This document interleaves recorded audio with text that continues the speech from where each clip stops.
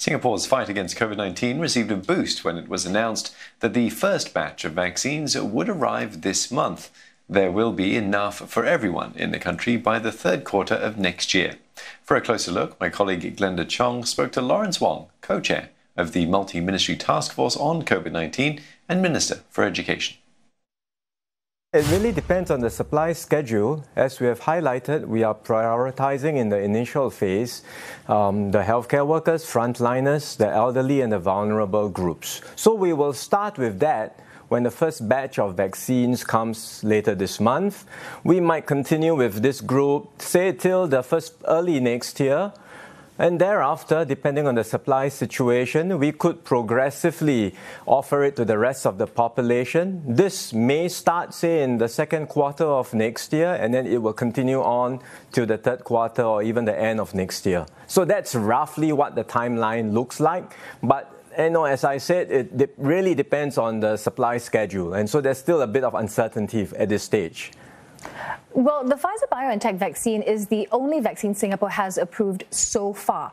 How will it be administered to ensure that the least amount of possible goes to waste?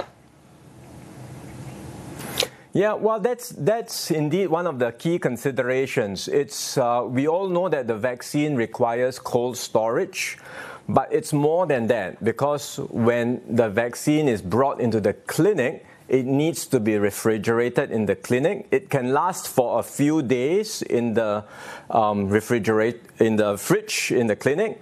But once you take it out of the fridge and you open the valves, the vaccines will have to be used in a matter of hours.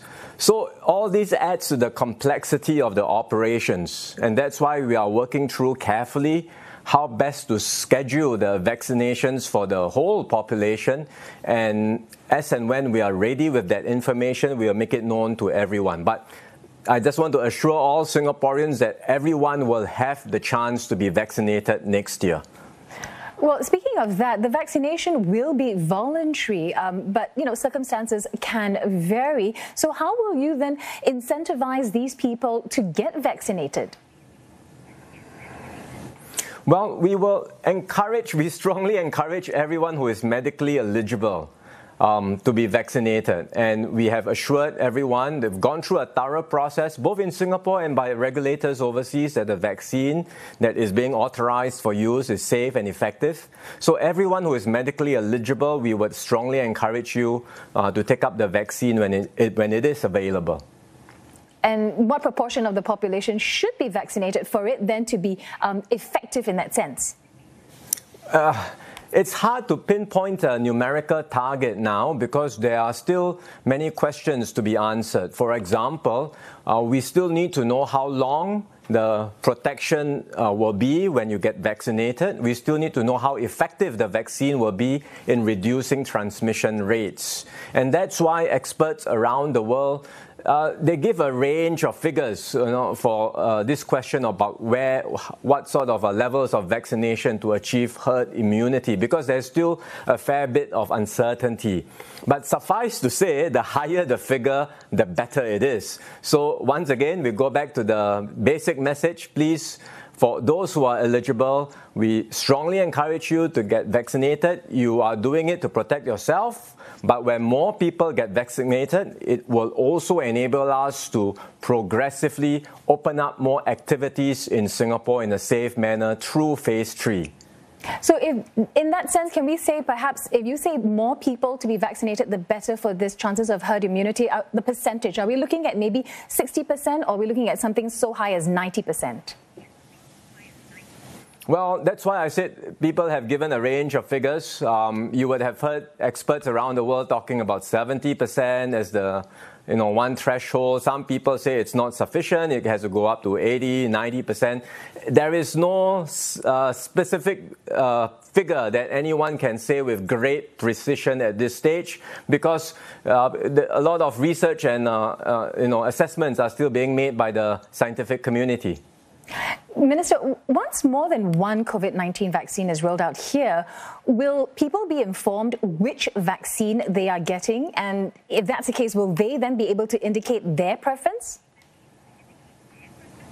Well, Glenda, at this stage, there's only one vaccine that's been authorized for use. That's a Pfizer BioNTech uh, vaccine. So there's really not much of a choice.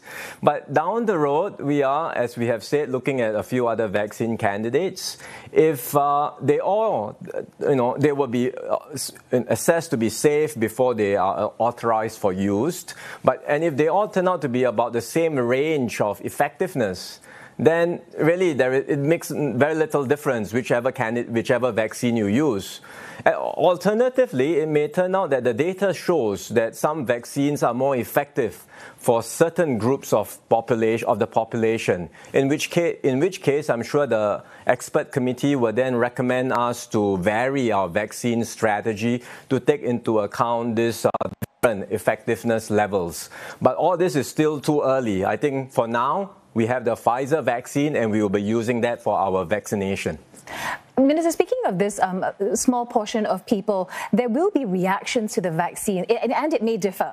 For example, allergies. How will post vaccination surveillance be done then?